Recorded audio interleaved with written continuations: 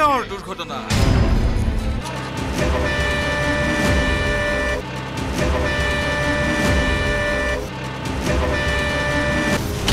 ইতিমধ্যে পৰিবহণ মন্ত্ৰীয়ে ঘোষণা কৰিছে তদন্ত।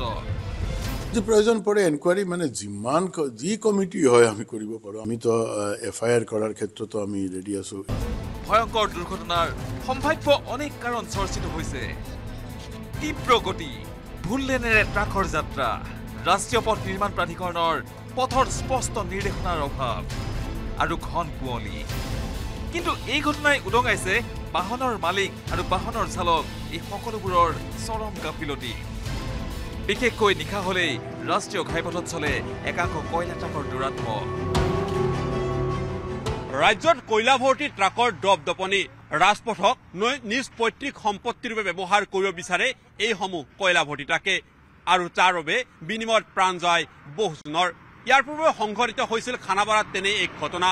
পৰিবহণ বিষয়াকেই গাড়ীৰ সন্মুখত লৈ আগুৱাই গৈছিল বাহনখন। তাৰ পিছতো কিন্তু কোনো ব্যৱস্থা নাই এইসমূহ বাহনৰ বিৰুদ্ধে।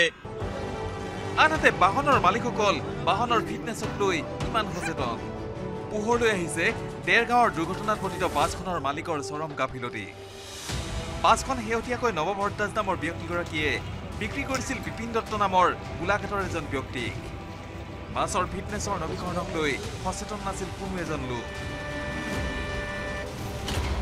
দুৰ্ঘটনাত পতিত হোৱা যিখন ষ্টাৰ বাছ আছিলে সেই বাছখনৰ চালক বৰ্তমান যদি আপুনি বাহন এপত চায় তেনেহ'লে কিন্তু নৱ ভৰদ্বাজৰ নামত পঞ্জীয়ন হৈ আছে। কিন্তু প্ৰকৃতাৰ্থত বাছখনৰ গৰাকী জানো নৱ ভৰদ্বাজ হয়? আমাৰ লগত নগাঁৱৰ নৱ ভৰদ্বাজ আছে যি প্ৰথম বাছখনৰ গৰাকী আছিলে। আহ, নৱ আপোনাৰ বাছ আছিলে এইখন? এ, যিখন ষ্টাৰ বাছ হয় হয়। আৰু বাছখনৰ ইঞ্চুৰেঞ্চ নাই বডি ফিটনেছ নাইকিয়া। গাড়ীখন মানে বিক্ৰী কৰা হৈছিল দেৰগাঁৱত। হয় কেতিয়া বিক্ৰী কৰিছিলে আপুনি? দুহেজাৰ ওঠৰ চনত বিক্ৰী কৰা হৈছিলে। বিপিন দত্ত বুলি এজন বিক্ৰী কৰা মানুহজন বিক্ৰী কৰা হৈছিলে। হয়। তেখেতক দিয়াৰ পিছত গাড়ীখন মোৰ হাতত মানে ক'ড এগ্ৰিমেণ্ট কৰি পেলাই তেখেতক মই দিছিলোঁ। ফাইনেন্স থকাৰ কাৰণে মই তেখেতক মানে ট্ৰেন্সফাৰ কৰিব পৰা নাছিলোঁ। তেখেতক মই কৈছিলোঁ আৰু ইঞ্চুৰেঞ্চখিনি কৰিবলৈ তেখেতে মানে কৰা নাছিলে। মই যোৱাকালি ৰাতিও ফোন মাৰিছিলোঁ। বোলো খুৰা এইখিনি ইঞ্চুৰেঞ্চখিনি কৰি লওক। তেখেতে কৰিম বুলি কৈছিলে। এতিয়াতো যিখন যি দুৰ্ঘটনা হ'ল সংঘটিত হ'ল বাছখনতো সম্পূৰ্ণভাৱে ধ্বংস হ'ল। তাৰ বিনিময়ত গৰাকীয়েতো একো নাপায় আৰু যিসকল লোকৰ মৃত্যু হ'ল দুৰ্ভগীয়া লোকৰ লোক হ'ল তেওঁলোকেও একো নাপাব। হয় নাপাব।